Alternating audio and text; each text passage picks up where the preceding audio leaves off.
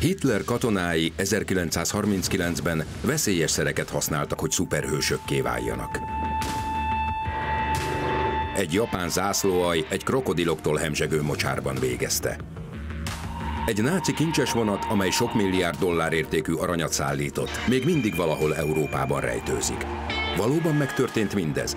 Derítsük ki! A nácik bizarr háborúja. Hétköznaponként délután ötkor a NatGeo műsorán.